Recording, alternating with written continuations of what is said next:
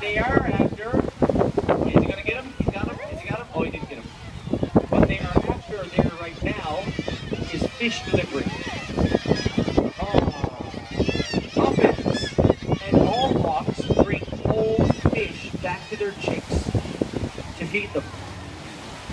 Seagulls don't, right? Seagulls, they, they eat the fish first, they, they partially digest it, and then they regurgitate it for the chick.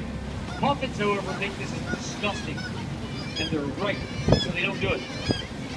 Unfortunately for the puffins, um, what that means is uh, their targets, they basically got a bullseye in the back of their head when they're coming back to the island to fish. So if they're not quick enough, and that guy was quick enough, saw the seagull chasing, never got a hold of them. They, they would come, they would land right in the doorstep and boot her the front door. Otherwise, that seagull is going to right? And grab him by the wing, pull him out of the burrow, and shake him up and down like this until the puffin spits out the fish. And then the herring gull plays its absolute favorite game, which is puffin frisbee. They haul off, they see how far out over the bay they can fling that. Right? Now that does not almost never result in any permanent damage to the puffin. Okay?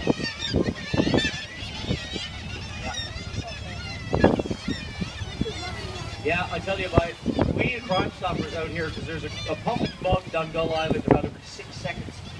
It's like South Central out here some days.